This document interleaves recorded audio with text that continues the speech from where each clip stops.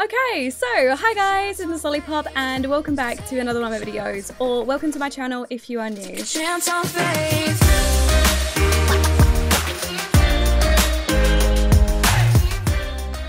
So in today's video, I'm actually going to be doing a reshade tutorial for The Sims 4. So I'm going to be showing you how to install reshade, uh, what you need, you know, to get it working. And I'm also going to be showcasing my Vibrance reshade preset, which you can go ahead and download and use in your games to basically make your Sims 4 look exactly the way uh, that mine does. So in terms of this reshade, it is a really nice saturated version of the game. Um, it balances out the contrast and the shadows. I normally find that the game by default is very very dark. It's quite dull. Dark it has a lot of like random blues everywhere. So i've taken a lot of those colors out and i've added a lot of like warm honey tones in. Um, the greens are really vibrant pink so all, all really bright colorful colors are more colorful if that makes sense. Um, and i also went ahead and made sure that the game was generally brighter and more vibrant just so it puts you in a good mood to want to play the sims you know in general when everything's like bright and colorful it makes you want to play the game more. Uh, but also because youtube makes videos really, really dark. It's also good to use these on YouTube videos if you are recording your own YouTube videos. It, personally, I think it looks really good in gameplay. I've been working on this reshade preset for around a year or so so a really really long time um, and I think I finally got it to a place where I think that it's ready for the public. So let's go ahead and jump right in and I'll go ahead and show you how to install it. So first of all, you need to click on the link in the description and it will link you to my Tumblr page, which will have a link to this post just here. This is my reshade preset post. Currently it's sitting in drafts because obviously I haven't actually published it just yet. So you can go ahead and scroll down to the bottom and as you can see, these are the pictures that you would have already seen of the preset and you know, the way that it looks. Let's go ahead and jump right into the reshade installation and then I'll go ahead and show you how to get set up with my preset. So first of all, if you head down onto the Tumblr page, you can go ahead and click on the keep reading option that was on there um, and go ahead and click on the reshade download that I've included in here. So go ahead and click that and it will link you directly to the reshade website. So go ahead and click on this little download button and it will link you to the bottom where you can go ahead and download reshade 4.6.1. So go ahead and click on this version and it will go ahead and download it into your downloads folder, which you can go ahead ahead and find in your libraries, in your downloads, and it will be in here. Or if you've got um, Google Chrome, you can go ahead and click on the little button down here and it will go ahead and open it. So this is where we go ahead and select the game and manage its reshade installation. So if we go ahead and click on here, most of the time, The Sims 4 never shows up, and just for some reason, The Sims 4 is never ever found on here. But as you can see, there are a few random games that I play quite regularly on here, um, but just The Sims 4 never shows up on here, which is fine. So you can go ahead and browse for the game. Now, my game is actually in a different place to where most people's is, but I can go ahead and show you how to find out where your game is, no matter uh, what computer you've got, you know, no matter where it's installed to. So go ahead and head to your desktop and you should have a Sims 4 uh, shortcut. You may also be able to click in the bottom left hand corner and also type in the Sims 4 and it will also come in uh, it'll also come up on here as well. So depending on which one you want to do, you can go ahead and click on here and open file location from here. Or if you go ahead and click on the shortcut, right click on the shortcut and click open file location from here. So this actually links you to the bin legacy, which is the legacy version of The Sims 4. So if you're running on the legacy version, you can just go ahead and um, copy this folder just like this, uh, click copy, and that will save this um, directory so that you can find it later on. Um, but if you're not running on the legacy version of the game, like I am, most people aren't running on the legacy version, but go ahead and click on this little game folder up here or click the back button. Um, and it'll go ahead and link you back to here where it will say bin um, underscore LE or bin up here. So go ahead and click on the bin and then we can go ahead and do the same thing. You can click on here and then click the copy button and that will copy the directory. So we can just go ahead and find it again. So you can go ahead and close this now. Uh, when you're on the reshade application, you can then go ahead and click the browse button and in here you can just go ahead and paste your uh, paste the directory that we've just gone ahead and copied in there and it will go ahead and link you to wherever your game is um, installed which it should say The Sims 4 x64 again if you've got the legacy version it should just say The Sims 4 no x64 at the end. But if you're using the 64 bit like I am just go ahead and click on this application and go ahead and click the open button. So when it does this um, it will ask which rendering API The Sims 4 uses. It uses DirectX 9 so go ahead and click on this version here. Don't click on any other versions because the game does not use those. So just go ahead and click on the DirectX uh, 9 version.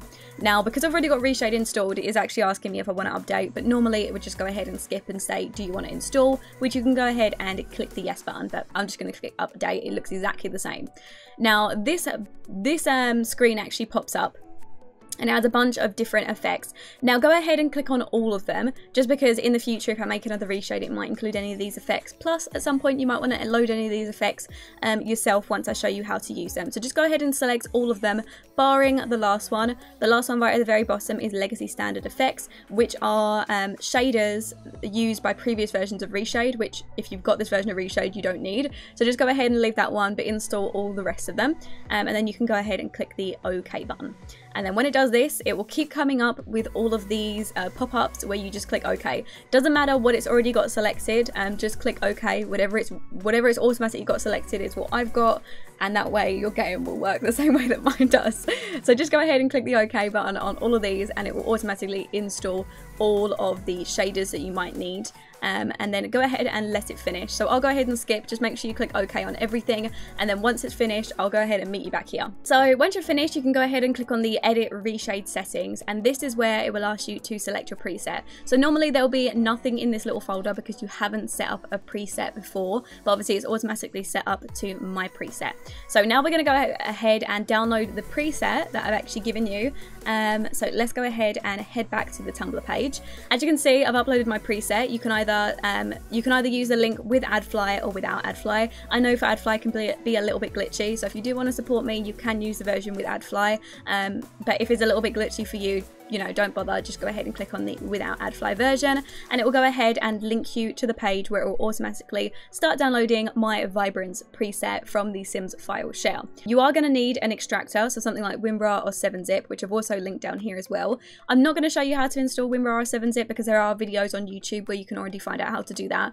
But if you need to, go ahead and install either one of those depending on which one you want to use. Um, if you don't know how to do it, go and watch a YouTube video for that and then come back to this video once you've got that installed. So from here you can go ahead and click the show in folder section or it's just going to be in your downloads wherever you automatically have it set up to install to. There we go, it's gone ahead and installed and as you can see it is a WinRAR archive but obviously you can go ahead and extract it with whatever you already have installed WinRAR or 7-zip.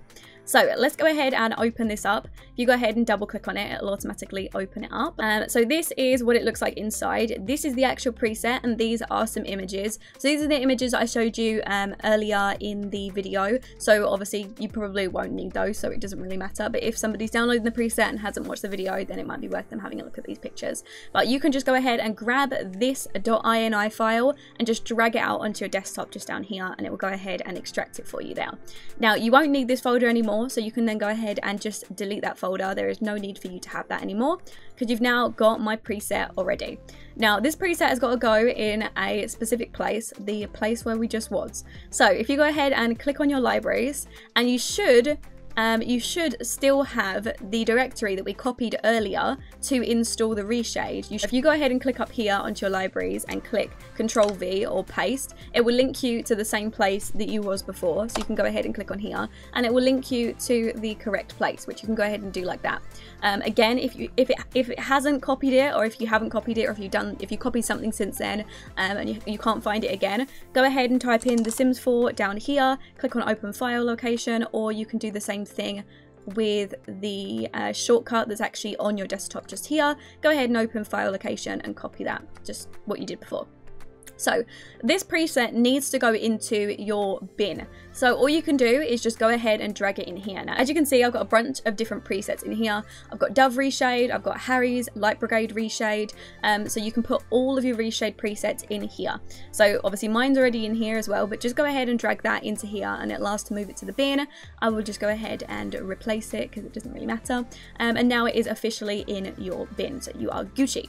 So you can go ahead and uh, close that because you've now installed my preset. And just in here, it's going to ask you where um, it's going to ask you what preset do you want to use when you load up the game. So you can go ahead and click on these two little eyes. If it has automatically found the folder for you, then great, you can just go ahead and select my preset and click the open button. Um, but if it hasn't, you will need to go ahead and again, use that directory that we just copied and pasted, click the paste button up here, click enter, and it will link you to the right place. Just go ahead and select on Miss Lollypop Vibrant preset, and it will go ahead and just select that. That is all you need to do. You can go ahead and click OK now, um, and then you can click the little X button on here.